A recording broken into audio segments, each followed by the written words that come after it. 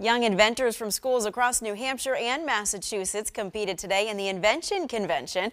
More than 250 students from kindergarten all the way to 12th grade came up with ideas and had them on display at SNHU.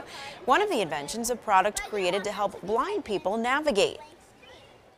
uses sonars and uh, computers to basically understand uh, distance between the user and um, an obstacle, in this case, let's say the wall, and it will basically calculate the distance between and it will then um, output it in sound. So I'll give you a uh, demonstration. And as I walk towards the camera right now, it increases.